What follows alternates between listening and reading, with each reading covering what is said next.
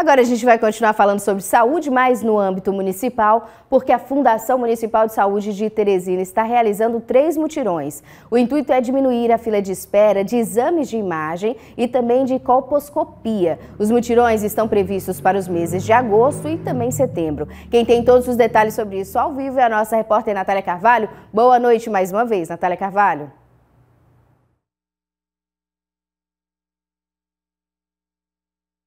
Olá, Beatriz, para você que acompanha o Conversa Franca, é isso mesmo, são três mutirões de saúde, desta vez com o objetivo de diminuir a fila de espera em exames de imagem e colposcopia. Esses mutirões previstos para começarem no dia 3 de agosto.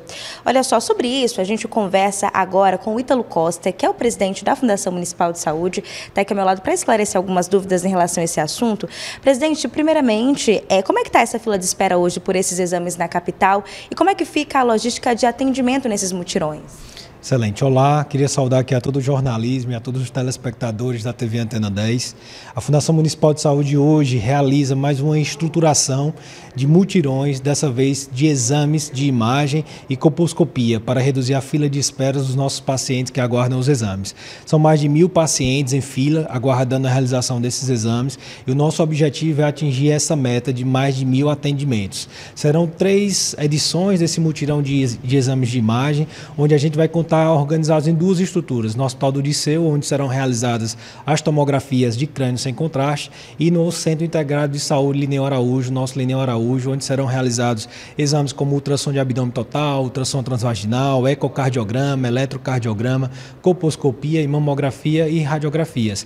Então será um mutirão que no usuário do SUS que esteja em fila procure sua OBS, procure seu agente comunitário de saúde, para não perder essa oportunidade de realizarmos esses exames e poder desafogar a fila. É mais uma ação da Fundação Municipal de Saúde. Lembrar que isso aqui já faz parte de uma segunda etapa dos nossos mutirões. Nós já realizamos mais de quatro mutirões de consultas é, especializadas, que é para diminuir nossa fila. Então, a nossa expectativa é que a gente consiga melhorar muito os nossos indicadores e, consequentemente, melhorar cada dia a qualidade de saúde de Teresina.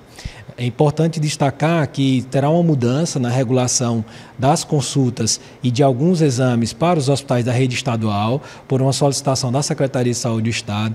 Lembrar também que nossos pacientes terão a oferta garantida nessa rede estadual para atendimento a essas consultas e esses exames.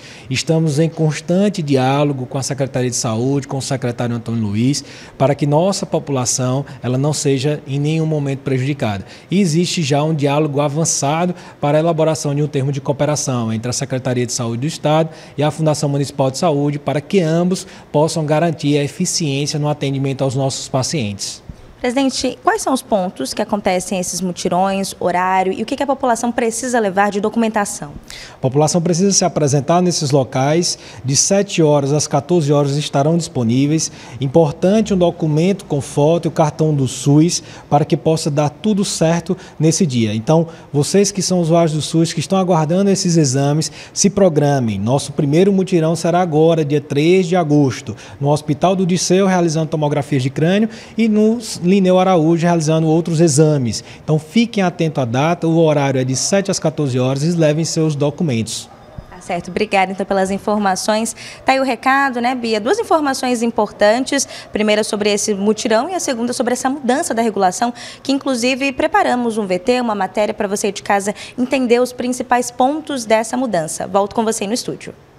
Obrigada, Natália Carvalho. A gente vai ficar acompanhando também como é que vai funcionar toda a logística e qual vai ser a demanda por esses mutirões de saúde.